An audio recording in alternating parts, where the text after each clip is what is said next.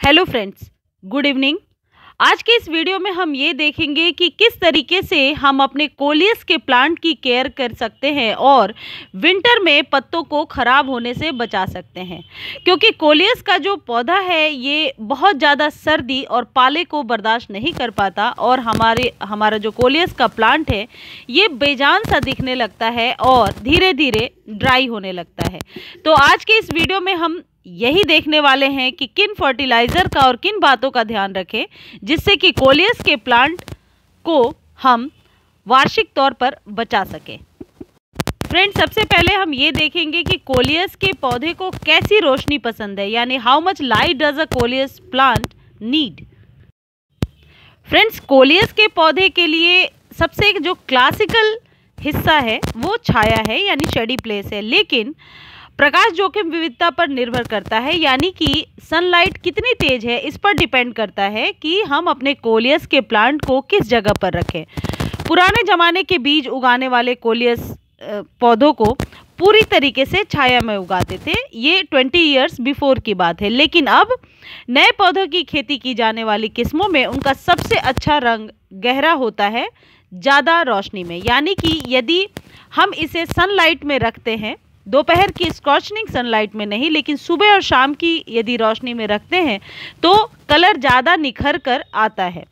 यह आपकी क्लाइमेट पर निर्भर करता है, यानी कि जलवायु पर निर्भर करता है कि आप किस जगह पर रहते हैं। यदि आप गर्म, यदि आप गर्म या शुष्क क्षेत्र में रहते हैं तो सभी प्रकारों को कुछ छाया की ज़रूरत होगी। यानी कि आप कोलियस के किसी भी वैरायटी को यदि आप लगाते हैं तो उसे शेडी प्लेस में रखने की ज़रूरत होगी, यानी कि आप फिल्टर्ड लाइट दे सकते हैं, जहाँ छन कर धूप आती हो। सुबह मॉर्निंग की दो घंटे की सनलाइट आपके कोलियस के लिए एनफ होगी। बट अभी विंटर में आप इसे फुल सनलाइट में रख सकते हैं, क्योंकि अभी रोशनी बहुत तेज नहीं होती है।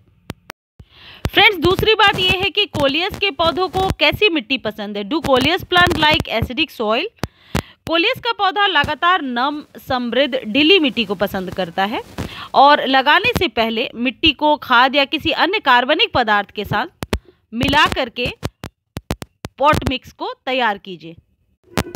पॉटेड पौधे को कोई भी अच्छी गुणवत्ता वाला पीट आधारित पॉटिंग मिश्रण होना चाहिए। यानी कि जो ये कोलियस का प्लांट है, जहाँ तक मैंने अपने अनुभव से देखा है, इसे एसिडिक सॉइल पसंद है। यानी कि सरसों की खली वाला जो फर्टिलाइज़र है, जो अक्सर आपने देखा होगा, यदि मेरे रेगुलर व्यूवर हैं तो आपने देखा होगा कि सरसों की खली का जो फर्टिलाइज़र है, वो किस तरीके से बनाते हैं और कोलियस के प्लांट पर या अपने सभी विंटर फ्लारिंग प्लांट्स पर किस तरीके से यूज़ करते हैं।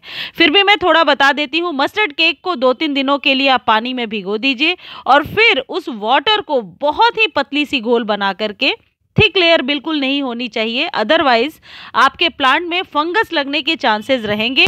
एक पतली सी गोल बना करके आप अपने सभी विंटर फ्लावरिंग प्लांट पर दे सकते हैं। कोलियस के प्लांट पर मस्टर्ड केक फर्टिलाइज़र का बहुत ही ज़्यादा जादुई असर होता है।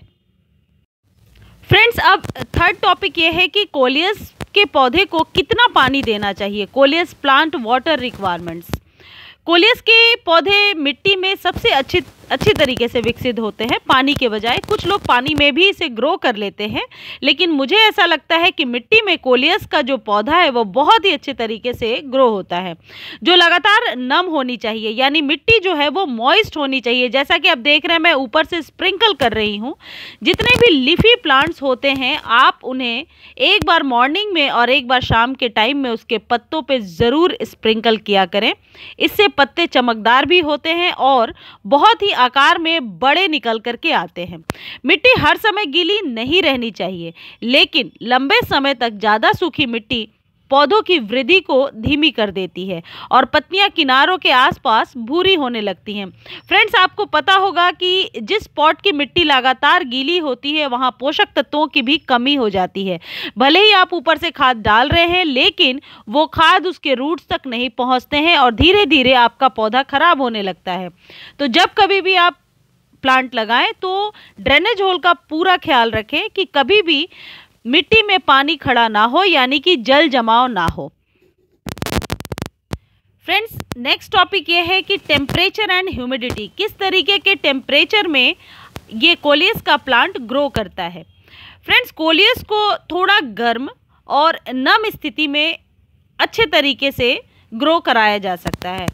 ठंडे मौसम में आप कोलियस को बचाने के लिए इसे प्रूनिंग कर सकते हैं। प्रूनिंग से आपके कोलियस का प्लांट घना भी होगा और ठंड में प्रूनिंग करने से अपने पौधों को आप बचा सकते हैं। यदि पौधे बहुत ज़्यादा लंबे हो रहे हैं लेगी हो रहे हैं तो आप उन्हें प्रून कर दीजिए, जहाँ से भी आप प्रून करोगे। देखो, इस जगह से मैंने कट किया है तो यहाँ से नई पत्तियाँ निकलना शुरू हो जाती हैं। तो कोलियस को घना बनाने का सबसे आसान तरीका है कि आप इसे ऊपर के दो पत्तों को पकड़ करके प्रून कर दीजिए। कोलियस के पौधे जो हैं थोड़ी सी गर्माहट वाली जगह पर बहुत ही अच्छे से पनपते हैं।